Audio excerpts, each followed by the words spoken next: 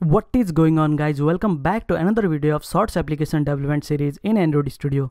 In last video we have successfully designed our video upload activity where we have this upload view as well as the post view. We'll show the video upload view at first to the user and when user click on plus it will show the post view. So let's implement how to select the video from external storage and also get the path of that video so that we can upload that video to our Firebase storage.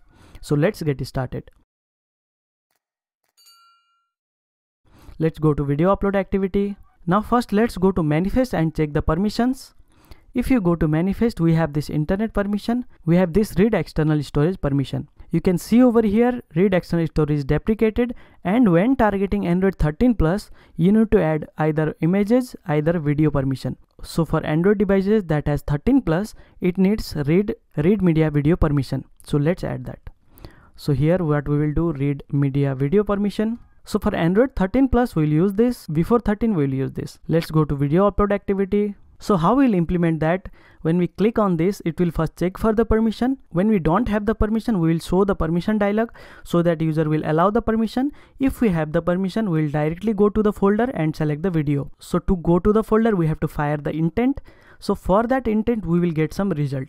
So that result will contain the video ID so let's implement that. First get the binding, lateinit var binding activity video upload binding, binding equals to activity video upload binding dot inflate layout inflater binding dot root. So we have got the binding. Let's create another variable that will be a selected video URI. So it will get the path. It will of type URI let's make it nullable and provide null at first. When we select the video we will get the result from the android. So we will get the video path. So for that we have activity launcher. Let's create variable for that. Let init var uh, let's say video launcher. You can see over here activity result launcher. Click on that and it will of type intent because from intent we are getting the result. Declare the variable. Here we will come and first we will assign the video launcher register for activity result. Here we will pass activity result contracts. It needs activity result contracts dot start activity for result. And from here we will get the result. So it will be let's say result. So with this result if video is selected we'll get the uri so let's first check if result dot result code that means it is selected or not. So if it is result okay that means video has been selected so selected video URI will be from the result itself. Rows Result dot data dot data. So from this result we'll get the data that is the selected video data and we'll set the URI of that selected video to our selected video URI. It is null at first, it will get the video URI. So we have to launch this video launcher as well. So from where we will do that? When we click on this button. So this button is binding dot upload view dot set on click listener. So when user click on upload view here we will check the permission and we'll launch this video launcher. So for that i will create a method check permission and open video picker let's say. So this method i will create over here. After this on create method check permission and open video picker. We can make it private. So here first we'll check the permission so for that I will uh, create a variable a string read external read external video that will be string. I will assign this empty string for now. Since for Android 13 we have different and for older version we have different. So what we will do if build dot version dot sdk int is greater than equal to build dot version codes dot this this version is the android 13 version.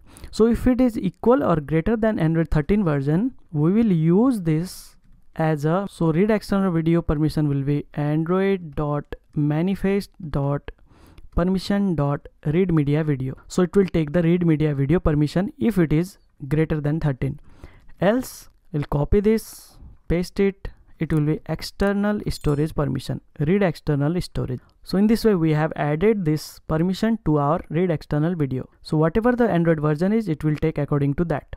After that we will check if there is a permission or not. So context compat dot check self permission. Context will be this and permission is read external video. If it is equal to equal to package manager dot permission is granted. If the permission of read external video is granted that means we have permission so we can go to video picker. So let's create a method video picker if we have permission. Else we don't have permission. Activity compat dot request permission. So request permissions in this we have to pass activity and array of request. We have only single request as of now. Read external video and let's say request code will be 100 so in this way we will send the request. If it is not there if we have the permission it will directly open video picker. Let's create a method that will be private fun video picker. So if we don't have permission it will ask for permission. If we have permission it will open video picker. So what we will do here for now we will just show toast video picker. Let's check this flow. Run it. Now let's click on add video. Let's click on this button so that it will ask permission because it is the first time we have not granted. If we click on this it will ask the permission. Allow our application to access photos and videos on this device. If we click on allow, it is allowed. If now we will click on click and upload video, it will show video picker.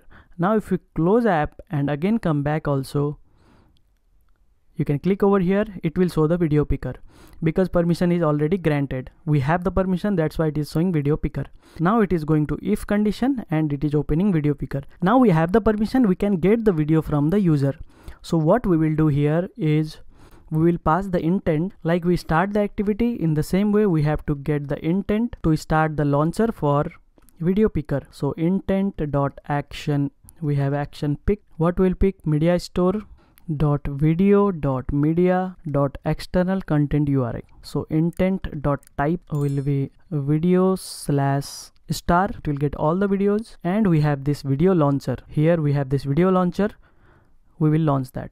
Video launcher dot launch intent. So in this way it will launch the video launcher and when we get the video when we select the video we'll get the value in selected video URI so how we will test that? Let's show a toast over here. Got video. And what is the video? Selected video URI dot to string. Let's just print the path of the video. If we run it First, let's add videos to our emulator. If you have device, you can add videos to your device. You can also record the video, but here we don't have video. Let's add from any folder. I have downloaded some shorts video.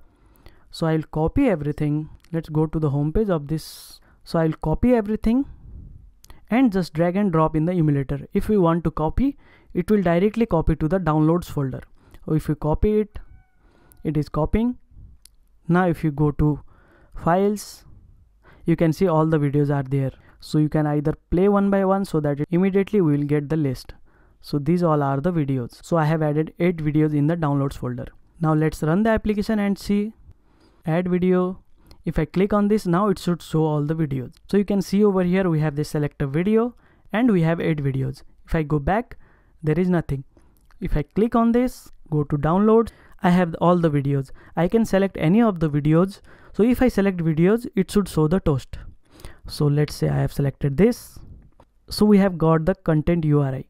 So got video and we have the path. If you select any other video it will get the path that means in this application in our application we are getting the path of the video so we are getting the selected video URI that means we are successfully able to add the permission and we are successfully able to pick the video from the external storage so that's all for this video so in next video what we will do when we have selected the video this visibility will be gone and we will show the post view so in that post view we can write the caption we can post the video so that we'll implement in next video if you enjoyed this video, please hit the like button. If you have any doubts and queries, please comment below. I will reply for you. Don't forget to hit the subscribe button before going. See you in the next video. Bye bye.